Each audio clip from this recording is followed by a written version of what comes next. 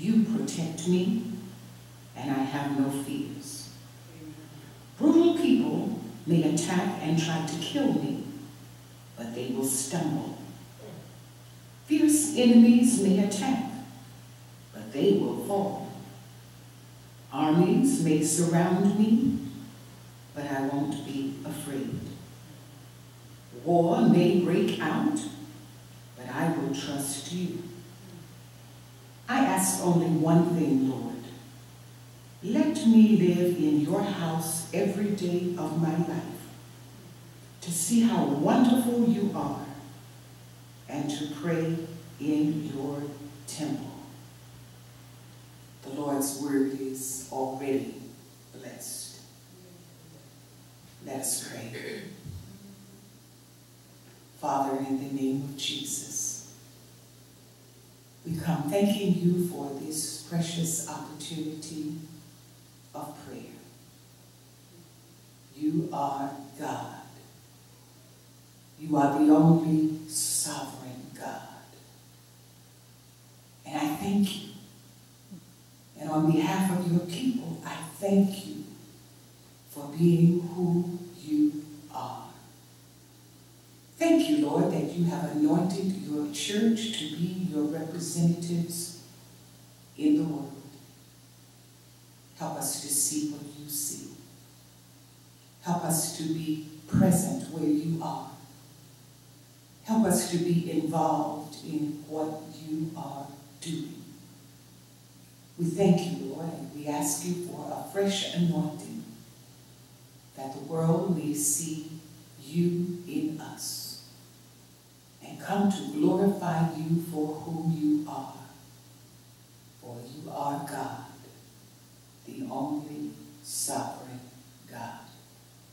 And it is in the precious name of Jesus that I pray. Amen. Our announcements are as follows. On this Sunday, we are celebrating our male court's annual anniversary. All presidents and members are asked to please prepare a love offering to help support this ministry. Thank you so very much. Our sick report is as follows. Sister Gertrude Jones, Westhampton Care Center. Sister Lucinda Ross, Southside Hospital, Shore. Brother Michael Mason, Peconic Bay Medical Center. Brother Tilden Christian, Hospital in Alabama. At home, Sister Earlene Trent, Sister Anitra Brown, Brother Sean Reed, Brother Tom Langhorn, Sister Ida Wolf, Sister Jody Green, Sister Sharon No, Sister Barbara Harris, Brother Louis Dacus, Sister Caroline Love, Sister Sandra Blue. Please continue to pray, send cards, call, and visit. Remember Pastor's family in your prayers and let us continue to pray for one another. Anyone who has a name for the sick list, please feel free to call, text, or email Sister Annie Collins. And also please let us know if someone can be removed from the sick list. That ends the reading of our sick report.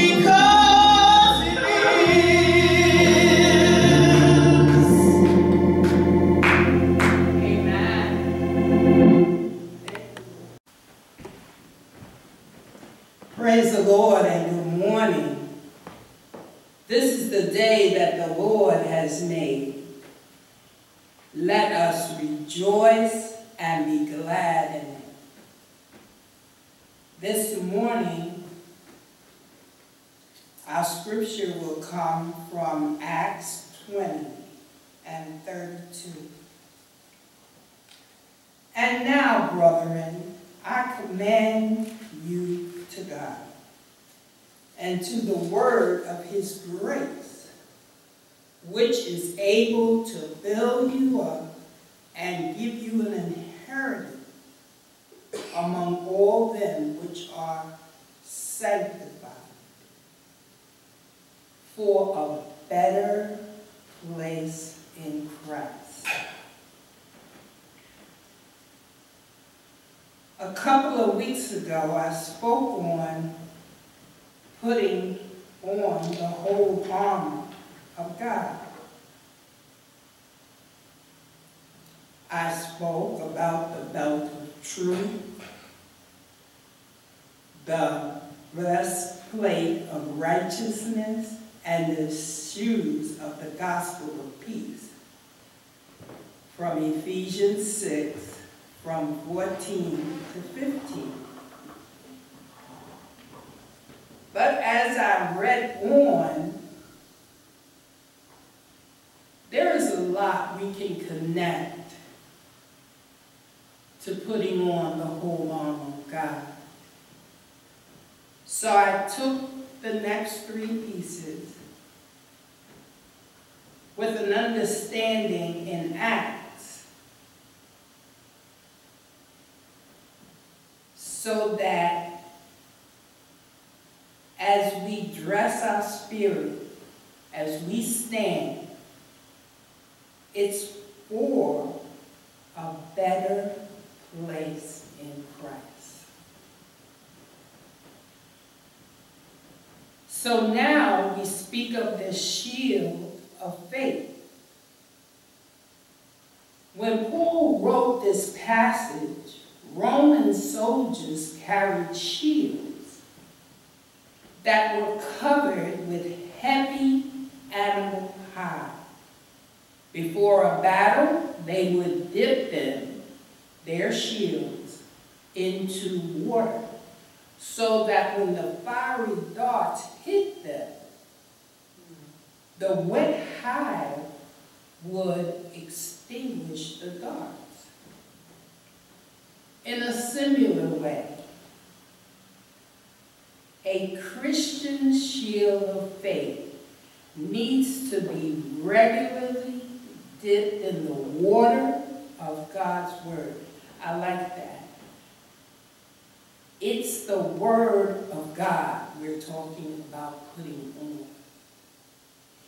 And we take that piece of armor, which is our faith, and we dip it in the Word so that when the spirit of evil comes at us, whatever he's shooting at us, it doesn't hit us because as soon it sizzles out. To apply it, we find verses that feed our faith and fill our word, fill our world with them.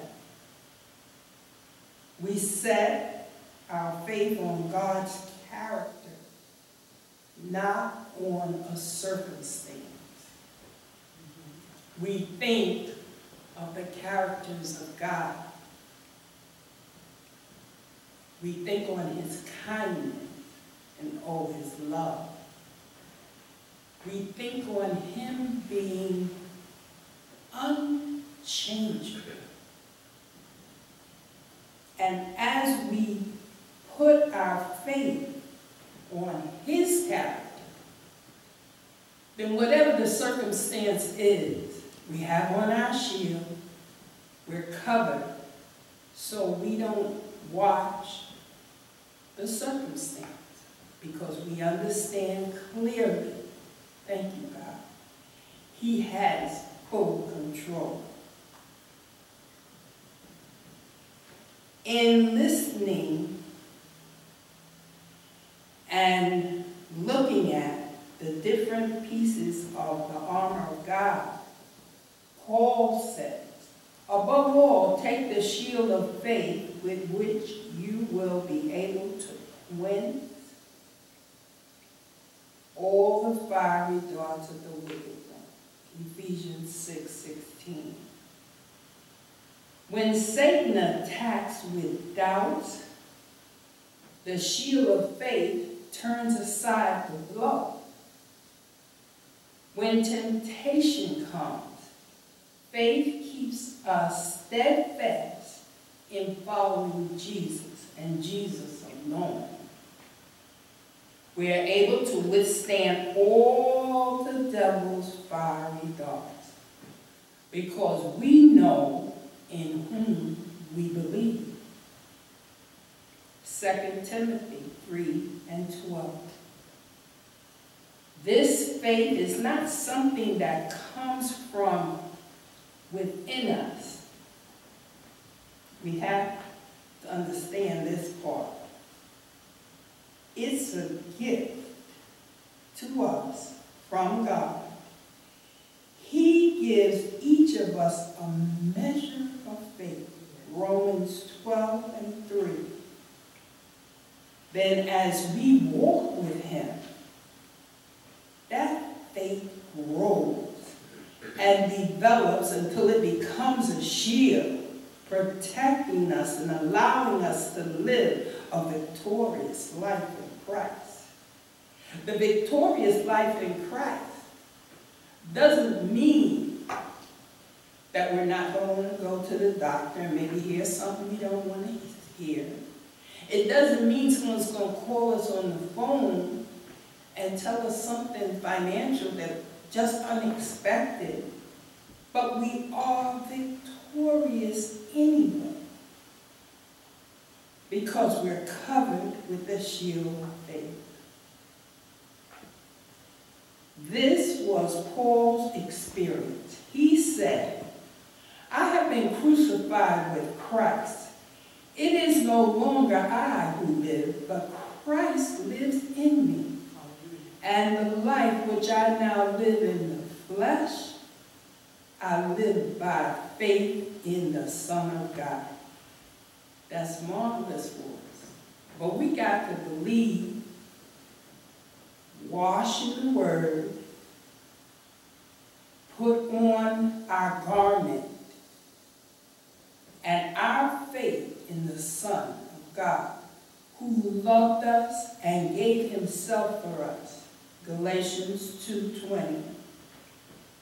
And at the end of that life of faith, Paul declared, I have fought the good fight. I have finished the race. I kept the faith, 2 Timothy 4 and 7. That could be your experience as well.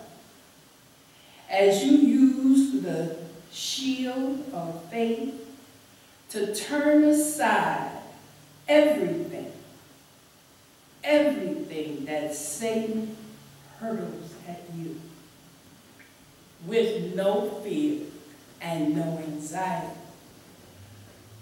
I give you the verses because the concentration is on the Word of God and the power in the Word of God that makes this garment that we're putting on so powerful for us. Now we get to our mind. Lord, help us. Helmet of salvation. Paul says, take the helmet of salvation. Ephesians 6, 17.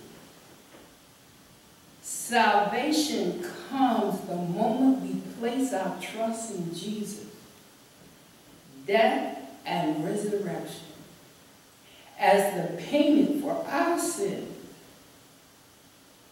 But salvation is also worked out through a lengthy process. It's in that process of sanctification. From Christ's death. Not something we give ourselves, but it's through him on the cross. The helmet of salvation, like the breastplate of righteousness, rests on the work of Christ to save us, but also involves us as we journey with the Lord and allow him to work that salvation into every part of our thoughts. The battlefield of the mind is the primary place spiritual battles are fought. The Lord works his feelings. His feelings. Well, we say, does Have? Yes. Because it said for Lazarus, Jesus wept. And the Lord works his feelings and truth into our perspectives while the enemy fights for strongholds to bind That's the helmet of salvation. We cover our mind for that thought came out our mouth. But first we thought it. That thing we did, we shouldn't have did, came out of our mind because we thought it first. So when we protect our thoughts, surround our thoughts with the scripture, we can fight off anything that's telling us to do something that's not in line with what the Lord would have us do. Mm. Set your mind on things above, not on earthly things. Colossians 3 and 2. Remember the Lord's character and faithfulness in Scripture as well. Wash. Wash. There we are again with washing and cleansing with the Word and the renewing of your mind. Romans 12 and 2 says, Do not be conformed to the pattern of this world, but be transformed by the renewing of your mind. Then you will be able to be tested and approved because it's the state of your mind. With the helmet on, no matter what comes through your eye gate or your ear gate, the word is in your mind and it blocks it. So you won't react on it. Because even though you see it, it might not be right. Or even though you hear it, it doesn't mean it's right. The helmet protects the head, perhaps the most valuable part of the body, since it is the seat of thought and the mind. When we have a sure knowledge of our salvation, we will not be moved by Satan's deception. When we are certain that we are in Christ with our sins forgiven, Satan will tell you you're not forgiven. Satan will tell you many things. But Jesus died to cover our sins. So in our repentance and our just forgive me, God, we're saved. He did that for us. Satan can't take that from us. And in that, believing, we will have a peace that nothing can disturb. Sometimes knowing it is not enough. It's, just, it's not enough. I can witness that it's not enough. You've got to actually do this right here. It's got to be a part of who you are. Otherwise, you'll have anxiety and palpitation. It's not supposed to disturb you because of your trust and your dress. Your spirit is dressed so you can rest and be assured that God will. It's in His Word. Yes, if we confess our sin, Jesus is faithful and just to forgive us our sins and to cleanse us from all unrighteousness. First John 1 and 9. God has given us eternal life. And this life is in his Son. He who has the Son has life. First John 5, 11 and 12. You see, that's why it's important to get dressed. From your head to your toe in the spirit, every day, all day. The Word. Stay in the Word. You say, well, I'm working, I can't read my Bible. I'm in the store, I can't read my Bible. Reverend McElroy says she was in line waiting to pay, but she was reading the Bible. So here you can. If one can, we all can, because God died for all of us. Now, this is my favorite because it's the sword of the Spirit,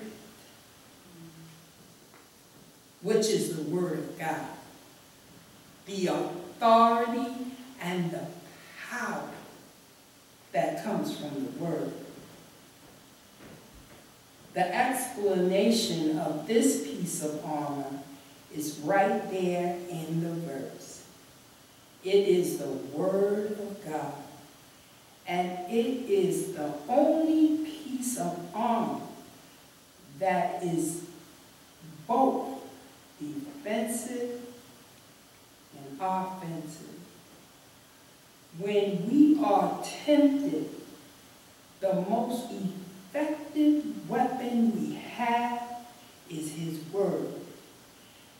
Has given to us power as believers is the sword of the Spirit, which is the Word of God. Now, Jesus modeled this beautifully during his temptation in the wilderness. We know the sword of the Spirit is the only weapon. Jesus used this weapon when Satan tempted him in the wilderness.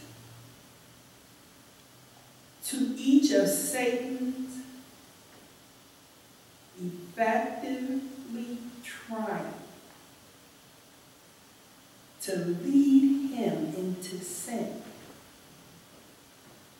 So when Satan come at us, if he was bold enough, and he knew who Jesus was, he was bold enough to tempt Jesus three times. And what did Jesus do? He came back at him with the word. The sword of God's word. Both protects us and destroys our enemy, the devil and his temptation. We can follow Jesus' example. We can be what and who the word says we are. And if you remember, I said the Roman soldiers had two swords. And if you go look up a picture, Google it, you'll see a short sword like this and a long sword in their hand. But our long sword is the Word of God. We grab our sword and we say, no weapon formed against us can prosper. We grab our sword and we say, I am more than a conqueror. We grab our sword. All things together for the good of those that believe. But sometimes the spirit of evil just wants to get up on you, you know, get real close. You got to get that short sword. And then you got to back him up. You know, get up, back up, back up. That's that short sword when he's all over you trying to tell you you can't, you won't, you never will. Just back him up. So my favorite use of the short sword is Romans 8. See, he's telling you you can't. He's telling you you won't. But Paul said, as he get up on top, no, I got you now. For I am persuaded that neither death, nor life, nor angels, nor principalities, powers, nor things present, nor things to come, nor height, nor depth, nor any other creature, hallelujah, shall be able to separate us from the love of God. God is in Christ, Jesus, our Lord. We got to remember it's the Word. We got to go in here. We've been in here. We done read it many times. I have. I study it. But there's always, always, always more as you dress your spirit for battle. Because it is a battle. And if he's not bothering you right now, you praise God. Hallelujah. Because he's coming. That's his job. He comes to seek, kill, and destroy. But with your long sword and your sh short sword, you ready. You got your shield, your helmet. You ready. Stay ready. I encourage you to stay ready. But then there is Ephesians 18, prayer. The breastplate of righteousness, I said before, covers your heart. Although prayer is not one of the pieces of the whole armor of God. Yet Paul closes his list by saying, praying always with all prayer and supplication in the Spirit. Ephesians 6.18 Even when you are clothed with the armor of God, you need to bathe all in prayer. Prayer brings you into communion and fellowship with God so that his arm can protect you. That's everything. You dress now. So it's up to us, to you and me, to decide to put on the whole armor and be victorious. Be who we already are. Victorious, yes. There's a virus and it's all over the world. So we praise God because we're still here. And we pray that we learn the lesson that is, God is teaching us right now with the whole armor on. We stand no matter what comes. So do sometimes you feel weak? You find yourself giving in to a temptation when you really want to overcome? Are you ever discouraged? We all face these moments, but clothed in the whole armor the weakness of his children is more than a match for Satan. We're dressed. Yeah, he coming, but we can stand. That's a guarantee, but first we got to put on the armor.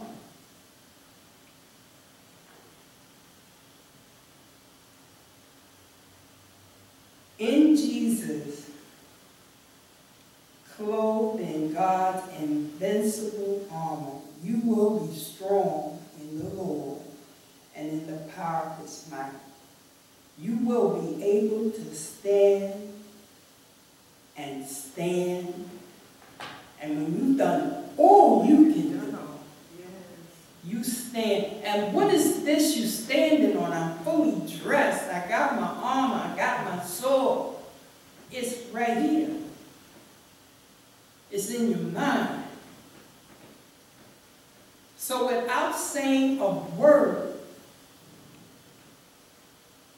you fight. How do you fight? It's the spirit. It's not even you. That's why you're victorious. That's why the battle is you. You know, the battle is yours. It's yours and victory because you got dressed and gave the Holy Spirit permission through the word in your mind to fight that was coming at you. I speak this as listening to the news and my God, everything that's being said, this gonna do this and that, and we gotta get dressed. We gotta dress our spirits. I don't know what's gonna happen, but we ready. Yeah, we ready. We're gonna put on our armor, and whatever comes at us, we're gonna stand. I have a friend, and she sent me a text.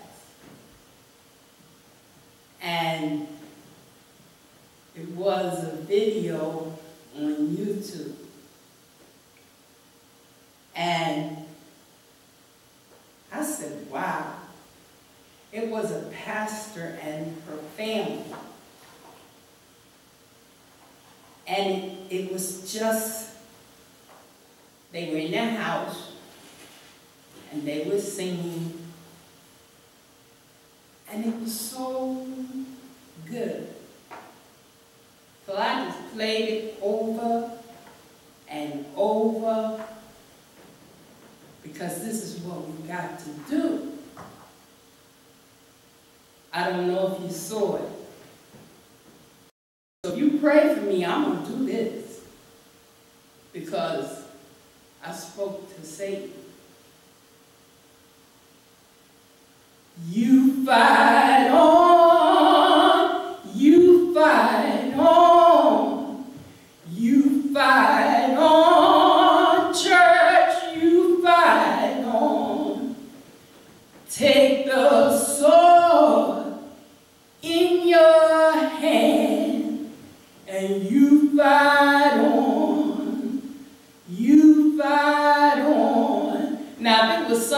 morning, and we were sitting in here, but you at home. So I can hear you in the spirit. You said, you fight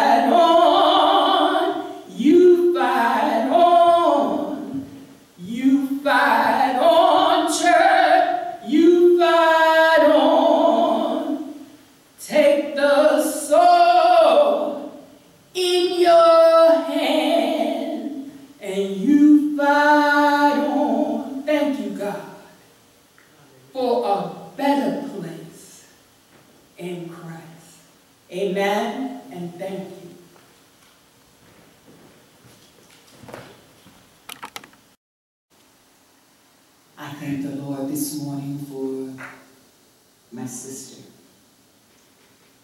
Evangelist Wilder. Our job is that we are to make ourselves available so that God can pour into us, so that that which we pour out is not of us, but of our Father who has called us to be his instrument. I thank you, my sister, and I pray for you. Powerful, powerful word. Now, our job is to make the application. Preaching is not entertainment. Preaching is God speaking through his vessel so that he can empower his church for the work that God has called us to. So be blessed, my brother. Be blessed, my sister. Be blessed wherever this life leads you. Let me encourage you. Let me speak life to you. You can depend on God to see you through. And you can depend on me as I depend on you. We're going to pray one for the other. So until we meet again, go in